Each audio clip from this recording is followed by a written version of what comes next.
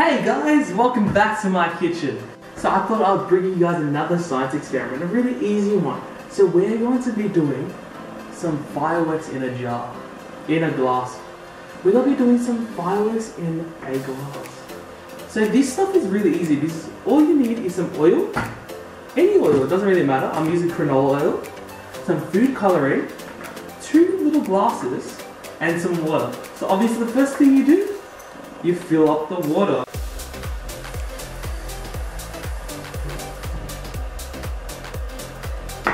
Next thing you do is you fill the canola oil.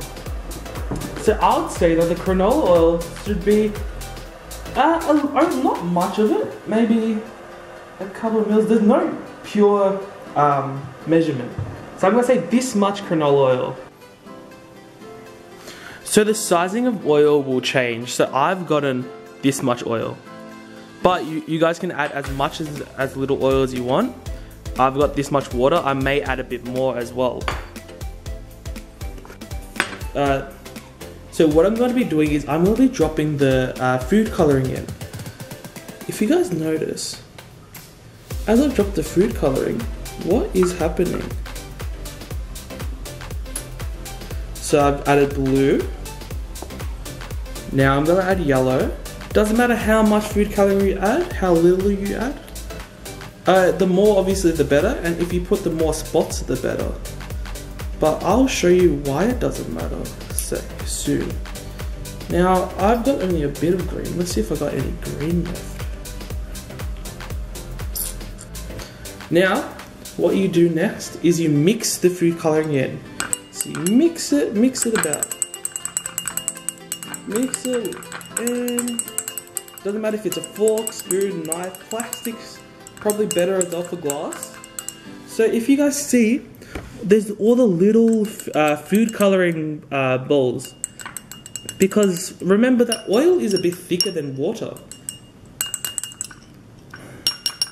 So, now what you do, really easy, really simple, is you slowly pour in the oil.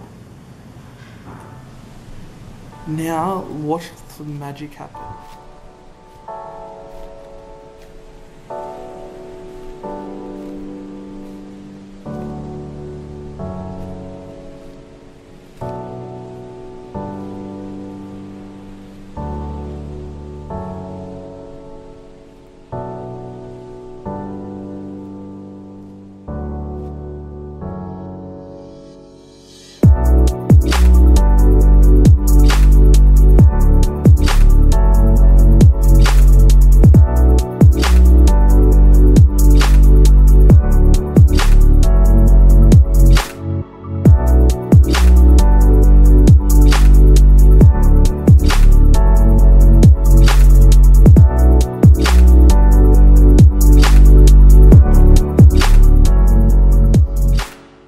Alright guys, so this will be going off for a while.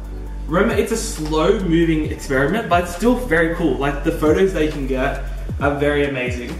Make sure you're using clean glasses. Make sure that the glasses don't have, the water glass doesn't have any oil in it. And the oil glass doesn't have any water in it. Um, make sure to stir the uh, food coloring with the oil and uh, when you mix it into the water, it should raise all the way to the top without mixing. So you guys may be wondering, why does food coloring mix with water but not oil? So remember that water is has a different density to oil. As well as that food coloring is water based. Uh, when you put the food coloring into the oil, it creates little pockets of food coloring and they all drop and they all drop to the bottom of the oil. Once you mix that with the water, the food coloring wants to get out. It wants to be um, out of the oil, so it's sinking lo- lower and lower, and it breaks through the oil barrier, and then it mixes with the water, and that's why you get those beautiful fireworks.